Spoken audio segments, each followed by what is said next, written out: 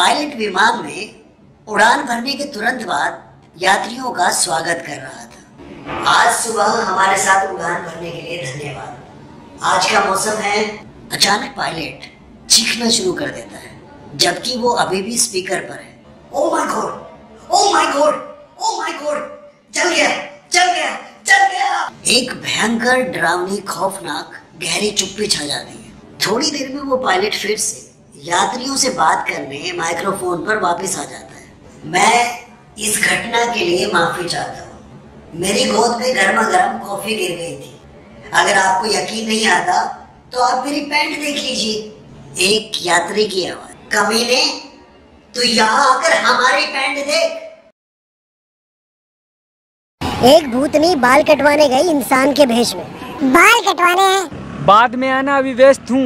नाई बेहोश। ऐसा क्या कहा भूतनी ने जो नाई बेहोश हो गया? मुंडी रख कर जा रही हूँ स्टेप कटिंग कर देना बाद में आकर ले जाऊँगी।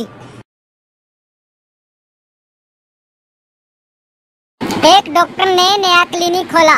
थोड़ी देर बाद एक आदमी आया। डॉक्टर ने अपने आप को बिज़ी शो करने के लिए टेलीफोन का रिसीवर उठाया और अपॉइंटमेंट देने के अंदाज में बोलने लगा। फिर फ़ोन रखने के बाद डॉक्टर आदमी से बोला हाँ बताइए क्या हुआ? टेलीफोन विभाग से आया हूँ। बात खत्म हो गई तो टेलीफोन को एक्टिव कर दूँ?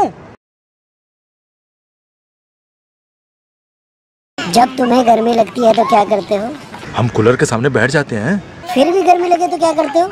तो फिर हम कूलर को चालू कर लेते हैं। रात में कमरे का लॉक खराब हो गया। बीवी ने टॉर्च ली और मुझे साथ लेकर लॉक ठीक करने चले। बीवी ने टॉर्च मुझे थमाई और खुद लॉक ठीक करने में लग गई। काफ़ी समय गुजर गया, लेकिन लोग खुलने का नाम ही नहीं ले रहा था। तब बीवी का पारा सातवें आसमान को छूने लगा।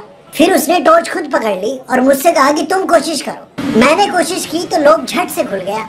बीवी मुझ पर बरस पड़ी और कहने लगी, अब पता चला टॉर्च कैसे पकड़ते हैं?